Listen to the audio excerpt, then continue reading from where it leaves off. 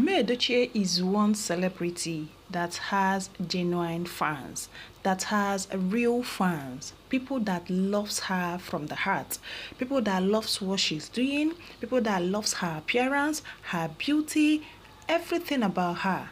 She is one celebrity I have seen that people loves so much. Guys, I am here with another juicy gist that you will not love to miss. Subscribe to this channel if you've not and please like this video as well. This is just with doris. So guys concerning may edochie's matter for some time now she has been out from social media.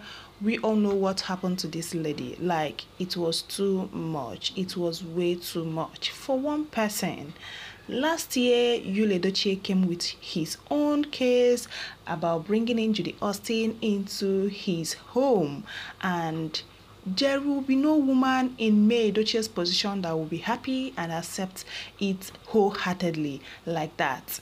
So after some months, they kept on bringing in their matter, their lovey-dovey matter online just to shade and mock me. That is just the truth of the matter. But this woman maintained her lane. She kept on moving. She kept on winning. Now, this year again, a very huge tragedy befell her. She lost her first son. Kai, when so many people heard about this, like it was a very big shock and big blow both to May and also to her fans. Yeah, they were there praying for her. Like, in fact, they stood on the gap for Queen May. Right now, so many people are wishing to have Queen May back online.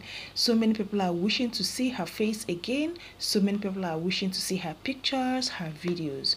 You all remember that sometime last year, a few months ago, Queen May also made a post where she is thanking her fans for always being there for her, that their love has always kept her going, that their love has always made her to be strong and that has made her to be winning and keep winning. Guys, people are also pleading that May should please consider coming back again that they know that this is not easy i saw that comment yesterday like the person took out her time to beg queen may and tell her queen may so many of your fans are waiting to hear from you. They are craving to see your face, like to see your stature, to see that your beauty again. That can you please come back online, just showcase yourself. That they promise to be there to fight for you. They promise to be there to defend you. They promise to be there to protect you from any social media, uh, whatsoever it is that will come from Judy or from her cohorts, likes of Sarah Martins. People are pleading with her like she is deeply missed she is deeply missed. People wants to see her. People wants to see her come back to her lively self that they have known her before. I quite understand the pleas and the pleading coming from fans and supporters of may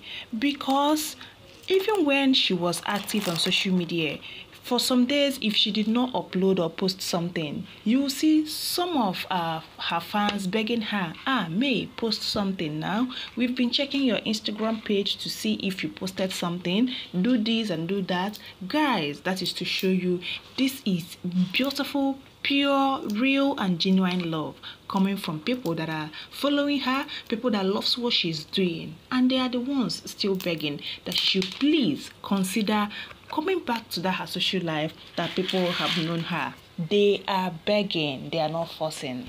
Guys i beg keep putting this woman in your prayers because she needs that right now. Remember this is just with doris. Do have a lovely day and see you all in my next video. Bye